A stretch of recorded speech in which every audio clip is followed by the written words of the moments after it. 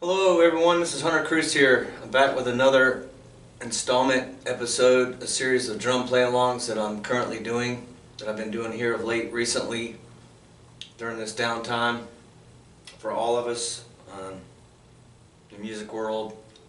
No band practices right now, no shows, so it's been good for me to have these projects at home. I've been doing songs from bands, artists,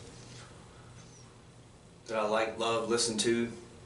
Some of these songs I've played quite a bit, some a little bit, and some not at all. Um, I've tried to pick a variety of artists from different genres of music uh, to keep it interesting. Um, anyway, today I selected a track from a band that I think was, I think is, or uh, considered a contemporary jazz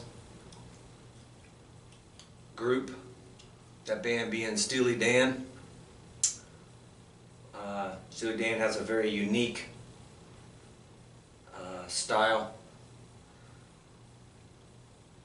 Um, a lot of keyboard work in it. A lot of the harmonies and melodies are played on the keyboard.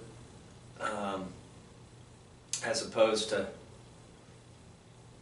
guitar. Uh, during that time, the 1970s, you know, was really guitar driven. Um, that era, guitar driven, and Steely Dan infused um, keyboards, organs. Anyway, I like it a lot. Uh, it's a bit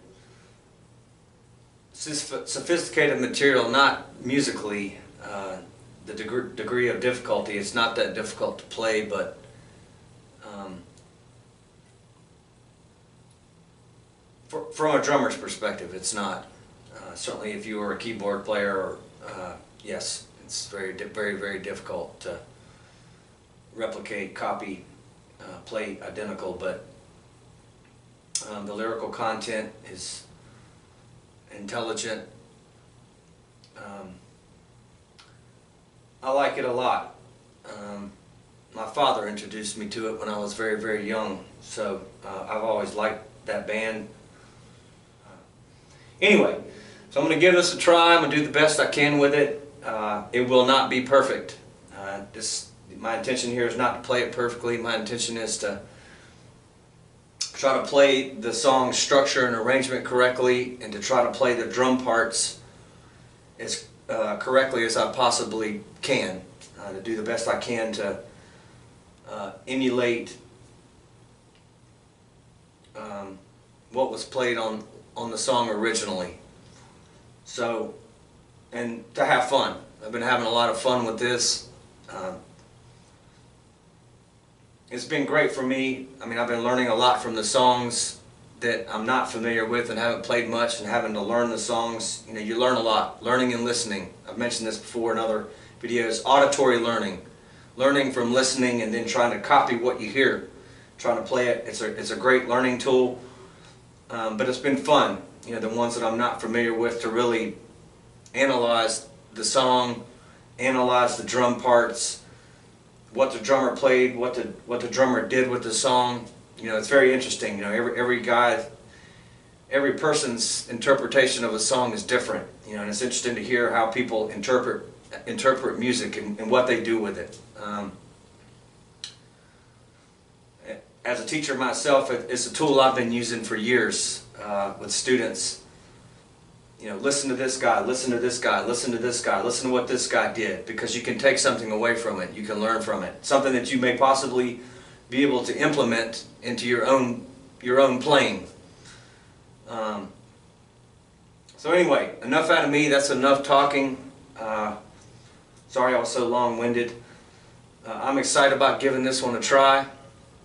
Uh, I forgot to mention too, you know, Steely Dan had a lot of horns in it too a lot of horns. Uh, you know, there were some other bands from that era uh, that had horns. Chicago being a big band that was at that time that was using a lot of horns. Um, but Steely, Steely Dan, you know, the primary focus was uh, the keyboard organ work, Um, certainly Donald Fagen's vocal, uh, the horns, you know, guitar, bass guitar, drums, just really a rhythm section. You know, just laying it down, rhythm section. I mean, those were the those are, those were the primary focal points, for, you know, for this band. Um, and it's interesting to analyze bands, what bands did and what, what the focal point was, what instrument, or, or was it the voice, was it the guitar, was it the drums, was it keyboards, was it horns, was it, you know, to you know, tear it apart, take a look at it, put it under the microscope. So anyway, I'm going to give this a try, I'm going to give this a go, and we'll see what happens. All right, here we go.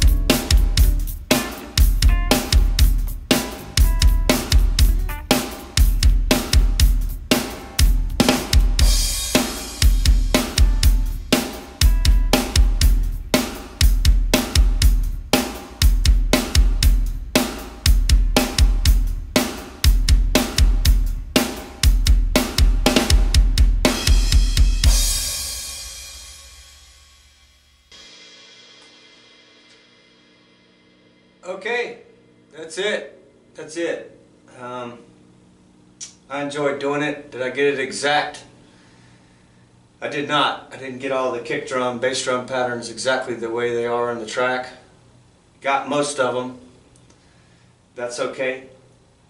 Uh, certainly not a complex, difficult track for a drummer to play. Um, very simple, basic fills in there, but that's what the song calls for. That's what is appropriate for the song. Um, but certainly the kick drum, the bass drum, or during that groove, during that beat, it moves moves around quite a bit. You know, eighth notes moves around quite a bit. So anyway, until next time, please take care and please be well, and I'll see you soon.